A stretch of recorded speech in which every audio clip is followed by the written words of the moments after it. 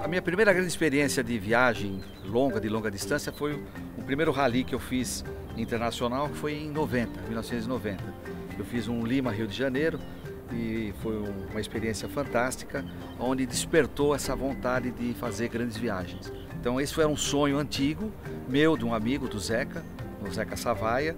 É, nós tínhamos já há muitos anos, em outras viagens que nós fizemos, sempre o desafio de fazer as, as três Américas. Né? Para quem não é do ramo, eu não aconselho. É uma viagem difícil, uma viagem que se você não tiver uma boa estrutura, inclusive psicológica, é complicado você encarar uma viagem dessa. Não é assim fácil não.